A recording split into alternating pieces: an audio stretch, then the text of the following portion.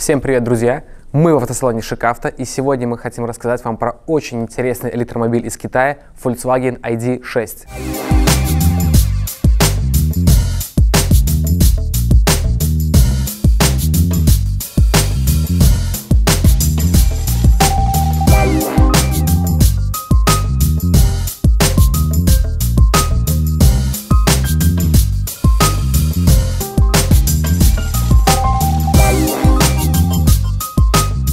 Впервые Volkswagen ID6 был представлен в апреле 2021 года в автосалоне Шанхай.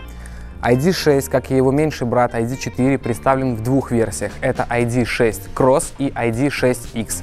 Сейчас мы попробуем разобраться, в чем же между ними отличие. По большому счету, это одна и та же машина. Единственное, что Cross выпускают на севере Китая, а X выпускает на юге Китая. Чем же они отличаются визуально сразу? У них разная оптика, у них разная решетка передняя и ID6 Cross на 15 мм длиннее, чем IDX. В линейке Volkswagen ID6 есть две версии – полноприводная и заднеприводная. У полноприводной версии стоит два трехфазных мотора, 313 лошадиных сил, 472 крутящего момента. 0-100 за 6,6 секунд. Запас хода по циклу NEDC 510 км. Максимальная скорость 160 км в час. В нашем случае заднеприводная версия ID6X и ID6 Cross, полная емкость батареи 83,4 кВт, 210 лошадиных сил, такая же максимальная скорость 160 км в час. А вот запас хода больше, чем у полноприводной версии 588 км по циклу NEDC. Габариты Volkswagen ID6X. Длина 4876 мм. Ширина 1848 мм Высота 1680 мм. Чем же они отличаются по габаритам? Версия ID6 Cross длиннее на 15 мм, 4891 мм. Клиренс у него небольшой. На выбор есть колеса диаметром от 19 до 21 дюйма. Спереди стоят дисковые тормоза, а сзади барабаны. Человек, который, возможно, не привык к данному автомобилю и видит его впервые, скажет, что стоят абсолютно два одинаковых автомобиля. Но на самом деле разница есть. Во-первых, разница в оптике. В версии ID6X Фара более удлинена и повернута все на крыло. Здесь фара короче. Также отличается передняя решетка. В чем еще отличие? Вот эта красивая диодная полоска. У Cross она закр... получается такая единая, как прямоугольник. А в версии X это продолжение диода от фары. И она идет немножко шире. Обязательно выключим свет, покажем, как это красиво смотрится ночью. Э, передний шильдик тоже светится. Две полоски светятся, оптика очень красиво ночью. В целом, спереди отличия заканчиваются. Сбоку их в целом и не наблюдается. Так, давайте посмотрим сзади. Чем они отличаются? Ну, во-первых, отличаются задними фонарями. Посмотрите. То есть здесь идет обрамление из хрома, а здесь стоп поднят выше, и в версии X он ничем не обрамлен только снизу идет серая полоска. В целом, внешне все отличия заканчиваются. Поэтому, как я и говорил, что это практически идентичные автомобили. Конечно, стоит отметить самую главную черту ID6, что это полноценный большой семейный автомобиль с тремя рядами сидений, то есть в нем полноценные 7 мест. Давайте посмотрим, как это выглядит внутри, и начнем мы с багажника. Багажник открывается с ключа, полный электропривод – закрывается с кнопки. Так, что у нас в багажнике? Сейчас у нас разложены все три ряда сидений. И при такой компоновке получается не очень большой багажник. Хотя здесь есть, здесь есть дополнительная ниша. Не очень глубокая, но что-то в нее положить можно. Ну, например, тот же переходник э, для подзарядки. Можно его сюда положить, чтобы не болтался по салону. То есть в такой компоновке, здесь, здесь небольшие две ниши, в такой компоновке багажник действительно не очень большой. Но если мы сложим задний ряд сидений, делать это очень просто, можно сложить как из салона, так и отсюда, то у нас получается просто огромадный багажник. Просто огромный багажник.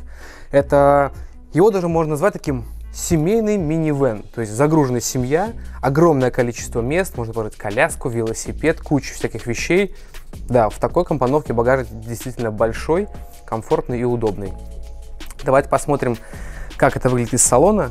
Опять поднимем задний ряд сидений и попробуем туда сесть. Насколько там будет комфортно сидеть детям, понятно, комфортно, а насколько будет сидеть там комфортно взрослому человеку. Как таковых ручек Volkswagen ID6, как и в Volkswagen ID4, их нету.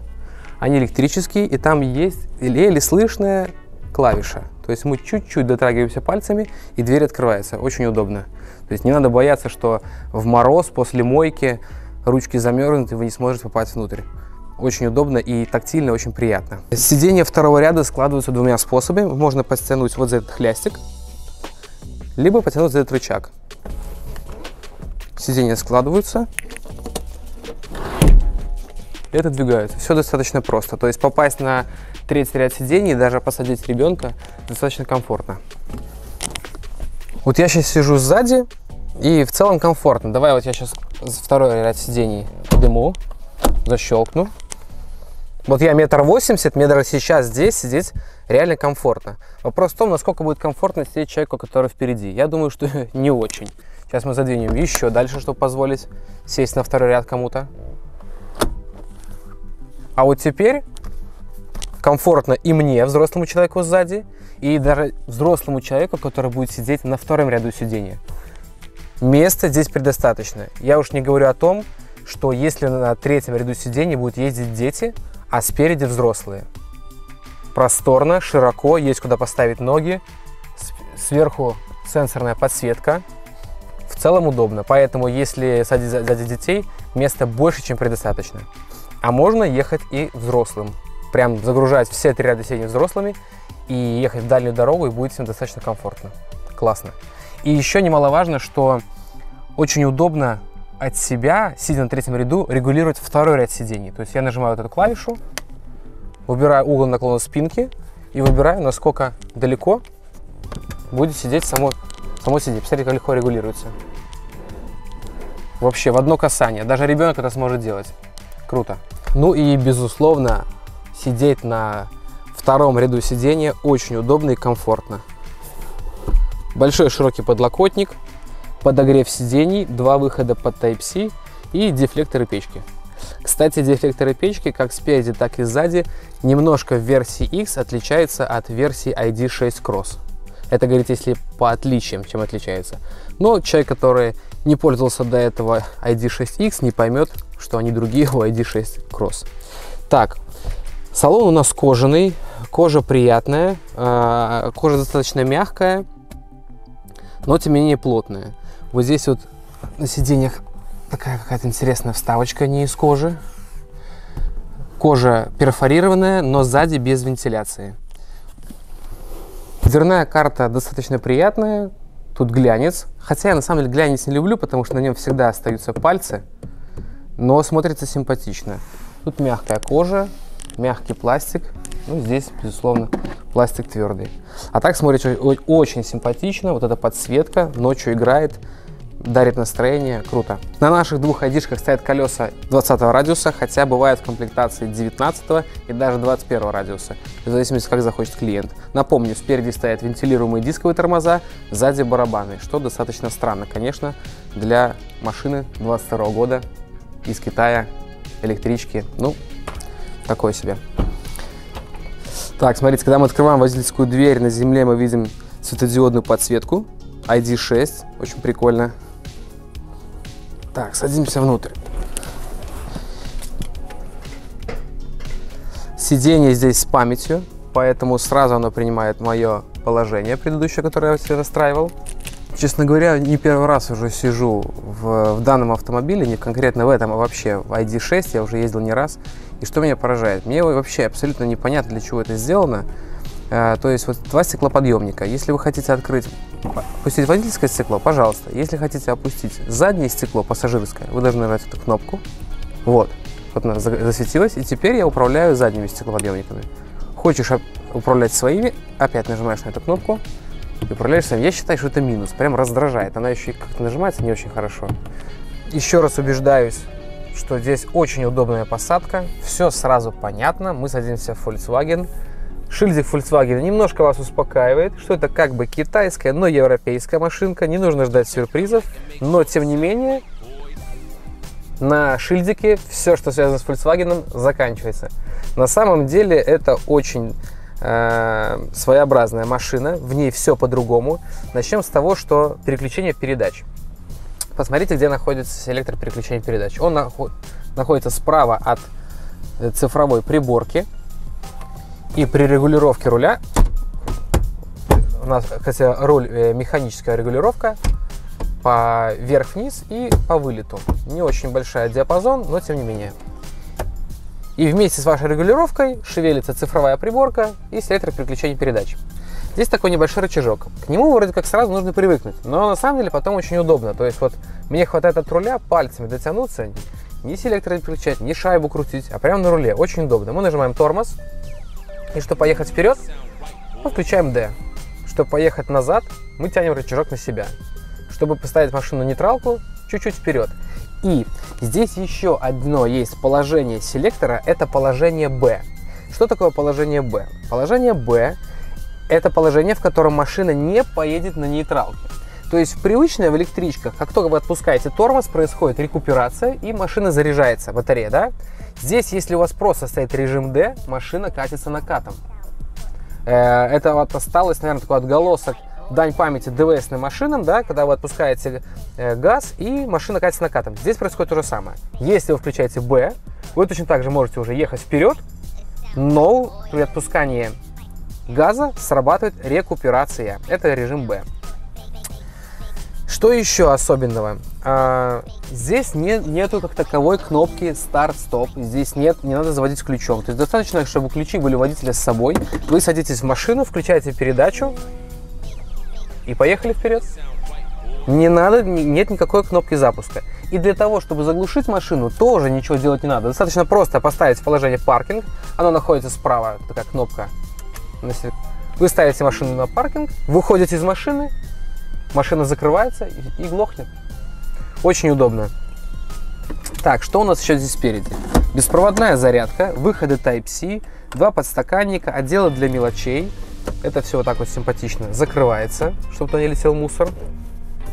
И здесь, а, кстати, вся эта центральная консоль, она левитирующая. То есть здесь у нас еще есть такое место, чтобы положить, например, мобильный телефон, ключи, ну, в общем, все что угодно. Они как выиграли еще место. По всему салону, как вы можете заметить, то есть у нас здесь фиолетовая подсветка, а ее можно менять на зеленый, красный, в общем, вся палитра с мультимедиа меняется. И по всему салону меняется подсветка. На дверях, э, под, э, под торпедо, вот видите, такая светодиодная полоса, под лобовым стеклом, на центральной консоли, в общем, везде. А еще прикольная фишка в ID6, что здесь есть голосовой помощник. И в зависимости, вот даже сейчас можете посмотреть, как он играет, если покажет видео. Вот я сейчас включу, вот видите, я включил D, оно зажегся. И в зависимости от того, какие команды я буду давать, оно будет реагировать и светиться. Прикольно. В комплектации э, версии ID6X и версии ID6 Cross э, предусмотрена проекция на лобовое стекло. Проекция очень четкая, конкретная, которая показывает скорость, показывает, э, какой скоростной режим э, сейчас на дороге, чтобы вы не нарушали, и дублирует, естественно, у вас на э, цифровой приборной панели. Так, идем дальше подлокотник достаточно такой небольшой. Очень важный момент, что здесь как таковых нету кнопок. Вот их нет от слова совсем. Единственное, что на дверях это стеклоподъемники. Все остальное это сенсор. То есть вот смотрите, чтобы включить свет, достаточно просто прикоснуться к лампочке, он загорается. А чтобы открыть панорамную крышу, тут есть такой слайсер. Мы просто проводим пальцем и держим. Так, все управление происходит практически на руле. То есть адаптивный круиз-контроль, Э, управление мультимедией, естественно, телефоном. Э, Все, что касается настройки фар, находится слева у вас, но опять же таки это не совсем кнопки, это сенсоры. Вот, например, включение обогрев тут есть, обогрев переднего стекла, обогрев заднего стекла, настройка фар, автоматическая, либо там включить противотуманки, ближний, дальний свет, все это находится здесь, но опять же таки это все не кнопки, это все аккуратненько подсвечивается красиво, это сенсор.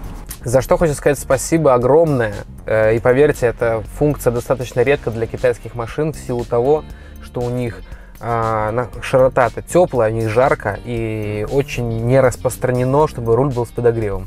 Здесь руль, как в версии ID6X, как и в ID6 Cross, руль идет с подогревом. За это большое спасибо. В наших широтах, когда у нас 8 месяцев зимы в году, это прям необходимо. Это очень приятно и очень полезная функция. Класс. Так, э, огромные боковые зеркала. На боковых зеркалах стоят датчики лампочки, и в случае, если вы хотите перестроиться, и там будет слева либо справа какая-то помеха, мало того, что засветится лампочка, и он вам подаст звуковой сигнал, что сейчас перестраивать, перестроиться не рекомендуется. Даже он срабатывает, когда вы стоите на паркинге, и какая-то машина близко рядом с вами проезжает, чтобы вы не открыли дверь случайно, не вышли, он вам сигнализирует о том, что рядом помеха, будьте осторожны. Это, конечно, очень полезная функция. Руль у нас кожаный, очень удобный, снизу скошенный.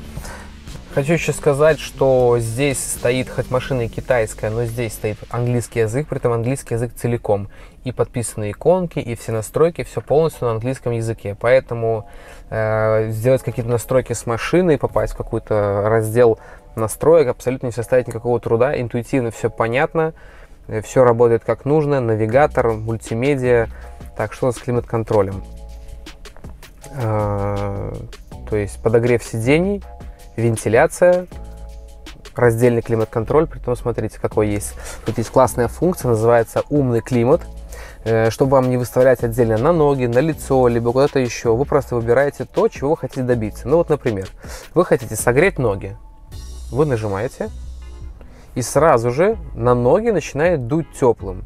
То есть не надо выставлять отдельно там скорость э, вентилятора, температуру, просто согреть ноги, и он начинает ноги греть. Или потом нажимаете «Согреть руки». Естественно, у вас греется руль, и дефлектор печки дует теплый вам на руки. Либо, например, сейчас жарко у нас погода, охладить ноги. Или, например, очень быстро охладить машину. Quick Cooling. Вы нажали, и все дефлекторы максимально холодно начинают дуть мощно, и машина охлаждается очень быстро. Это называется умный климат. Мне кажется, очень классная функция. Но вы можете перейти на классические управления климат-контролем. А еще здесь есть очистка воздуха. Прикольно. Так, смотрите, какая здесь крутая есть функция. Э, как можно управлять системой безопасности не по списку. Вот видите, здесь есть список систем безопасности различных. А можно по картинке, да, совсем все становится понятно. То есть система экстренного торможения. Выбирайте адаптивный круиз-контроль, помощь Э, ассистент смены э, удержания полосы. Всеми системами безопасности можно управлять прямо отсюда, без списка, просто интуитивно нажимаете и настраиваете их под себя. Очень удобно. Как я уже говорил, что тут можно выбрать, например, подсветку, выбрать под свое настроение. Сейчас у нас стояла фиолетовая. Вот мы сейчас ставим, например, зеленую. И у нас на дверях все светится уже зеленая подсветка. И второй цвет, например, выбираем голубой. И теперь у нас салон подсвечивается зелено-голубым цветом. То есть абсолютно под свое настроение выбираете катаетесь. Например, хотите агрессивно-красный, да, пожалуйста. Теперь все светится красно-фиолетовым.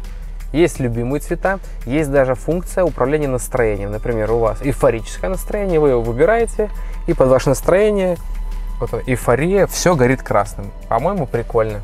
Так, наша цифровая э, приборная панель которая находится на рулевой колонке.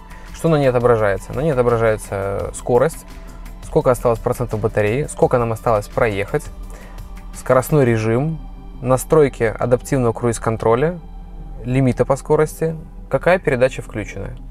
И также показывает, какой пассажир не пристегнут. В данном случае оператор сидит сзади, он чувствует это и показывает датчикам, что оператор сзади не пристегнут. И вот какая интересная штука, посмотрите. Заявленный запас хода 588 км по циклу NEDC.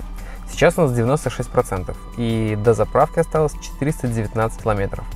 То есть это тот случай, когда мы понимаем, что цикл NEDC, он не информативен до конца. Это китайский цикл, и нужно понимать, что реально процентов на 15 от заявленного реально поедет машина. То есть, если они заявляют, то есть, если 96% 419, то есть примерно 450 километров. То есть, от заявленных 588 мы смело отнимаем 100 километров, И понимаем, что вот столько автомобилей проедет в теплую погоду при температуре 25 градусов. То есть, если будет холодно, будет включена печка, музыка, мы понимаем, что реальный запас хода у этого автомобиля примерно 350 километров что в целом неплохо для такой большой семейной машины, но тем не менее это будет реальная цифра. Для водителя здесь вообще они очень постарались.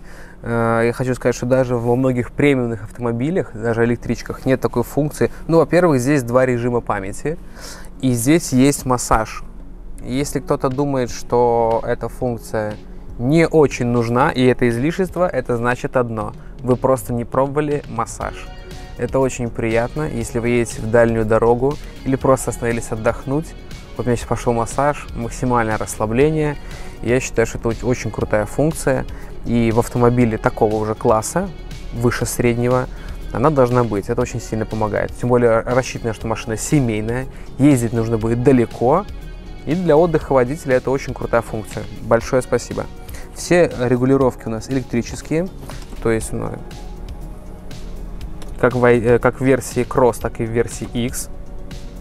Все электрическое, то есть ближе дальше, угол наклон спинки. Также, что мы еще можем сделать? Мы можем накачать подушку переднюю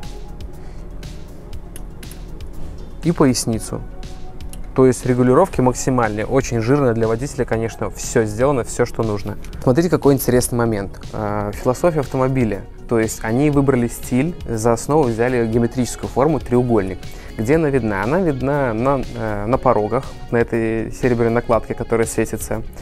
Она видна на центральной консоли, она видна на дверях, в снавках, она видна на решетке, которая находится спереди автомобиля, она видна на задних фонарях. То есть они взяли, немножко подзаморочились так, и вот такую философскую линию, геометрическую треугольник добавили везде. Сразу это в глаза не бросается, но для человека, который будет пользоваться автомобилем, поверьте, это радует глаз, и ты чувствуешь, что люди подошли внимательно к деталям и взяли за основу вот такую философию. Это очень прикольно и смотрится симпатично. Друзья, для тех, кто будет выбирать между комплектацией ID6X и ID6 Cross, поверьте, это реально два одинаковых автомобиля. ID6 Cross чуть-чуть длиннее на 15 миллиметров. Это не серьезное отличие. У них отличается оптика, отличаются фонари. Внутри салона что отличие? Это дефлекторы. Посмотрите, здесь вот в серебряном таком обравлении, он горизонтальный. И тут же смотрим, как у нас в ID6 Cross. Здесь такое же обравление, только дефлектор вертикальный. Еще небольшое отличие. Здесь сверху сделано в версии ID6 Cross под дерево и просто такая серебристая полоска.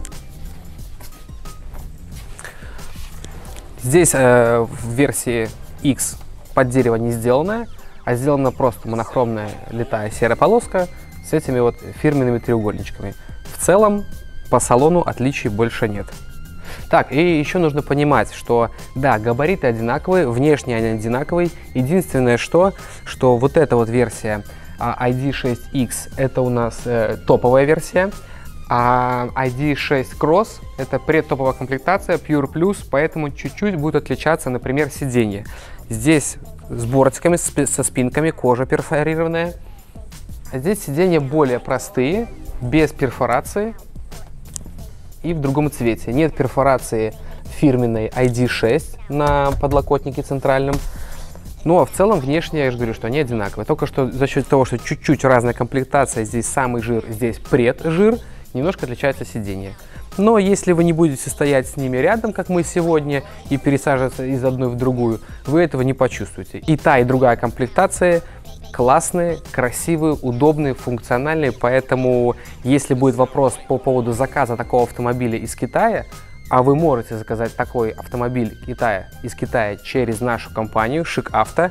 Мы подберем, конечно, к вам комплектацию, которую вы хотели. Но если будет вопрос в том, что нужно ждать э, на месяц, на два дольше другую, смело выбирайте комплектацию, которая в наличии или которая есть в наличии у поставщика, и вы ничего не проиграете, вы ничего не потеряете кардинально. Это две практически одинаковых автомобиля. Конечно же, нужно сказать про все системы безопасности и помощников для водителя. Учитывая, что этот автомобиль, скорее всего, будет использоваться как семейный, то в вопросе безопасности не может быть никаких «но». По европейским стандартам Volkswagen ID6 прошел все испытания и получил максимальное количество пунктов – 15 из 15. Это сверхважный показатель, что именно по европейским стандартам, а не по китайским, которым некоторые люди не доверяют. Помимо всего этого, в нем большое количество помощников и ассистентов. Помощь при парковке, удержание полосы, камера на 360 градусов с возможностью поворота и просмотра обстановки с любой камеры, адаптивный круиз-контроль, контроль полосы, скоростной контроль со звуковым предупреждением и многое-многое другое.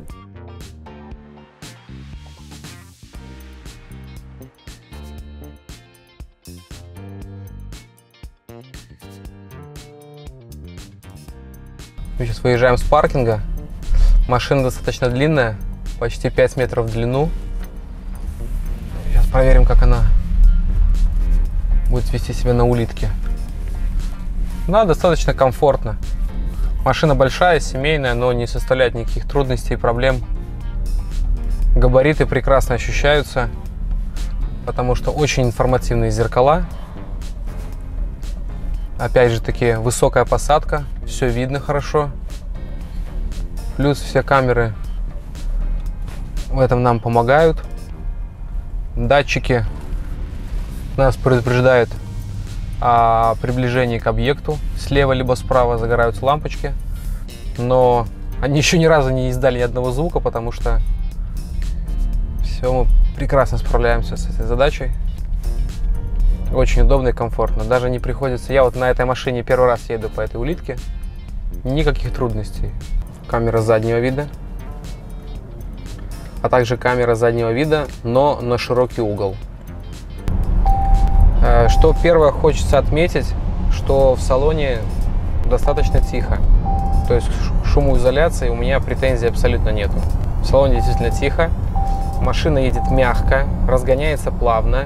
Несмотря на то, что мы сидим высоко и машина достаточно длинная, нет ощущения, что это селедка. Она не куляется, ничего, абсолютно нормально. Вот мы перестраиваемся на скорости. Очень приятно, что машина как бы фактически не является кроссовером, но сидишь достаточно высоко, на порядок выше, а, чем в седане. Это, конечно, большое преимущество. Я люблю сидеть высоко. Хотя здесь не такой уж и большой клиренс, то есть особо через поребрик вы не проедете. Очень, очень приятный руль, информативный. Набираешь скорость, он становится более тугой. А на маленьких скоростях очень отзывчиво можно управлять в прямом смысле вот одним пальцем. Смотрите, вот я сейчас специально проеду достаточно быстро, а, ну как, относительно по лежачему полицейскому. Вот, чтобы поняли, чтобы понять, насколько он мягкий. Вот. Скорость 20. Тихо, спокойно и очень-очень мягко. Класс. Это автомобиль так, э, не для драйва, безусловно. Хотя, когда нажимаешь педаль, то он реагирует достаточно бодро, без паузы. Такое бывает в электричках, когда промедление какой-то секунды полторы, и потом начинает валить. Нет, здесь автомобиль едет однозначно сразу, сразу быстро, но это все-таки, авто... это, конечно же, не ракета, не пушка. Это семейный автомобиль с очень плавным, но быстрым линейным разгоном. Мне очень нравится.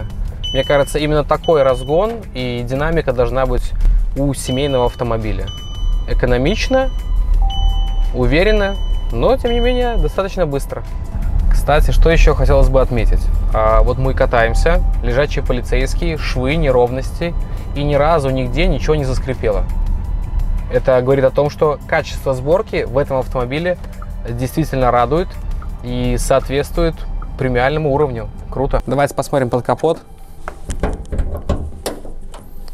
К сожалению, здесь нет газовых упоров классическая кочерга. Ну, по большому счету, вам незачем сюда лазить. Багажного отделения здесь нету. У вас доступ к тормозухе, к антифризу, к омывайке. Все. Больше вас здесь ничего не интересует. Как я уже говорил, я в этом автомобиле не первый раз и езжу на нем не первый раз. И еще раз убедился, что это очень классный экземпляр. Он закрывает многие задачи. Ну, во-первых, он семейный. Во-вторых, он премиальный материалы, система безопасности, качество сборки, все помощники, все системы безопасности. Очень круто. Плюс он очень экономичный. Это электричка. Он на английском языке. И это Volkswagen. Люди привыкли доверять Volkswagen, поэтому однозначно мы ставим ему 10 баллов. Очень крутая тачка, премиальная, надежная, понятная, отлично управляется, вместительная, крутые материалы. Поэтому, друзья, если вы хотите приобрести такой автомобиль, приезжайте к нам в салон Шикавто, звоните по телефону, у нас есть такие машины в наличии, у нас есть возможность привезти под ключ вам такой автомобиль из Китая. Обращайтесь, будем рады помочь. Компания Шикавто, пока!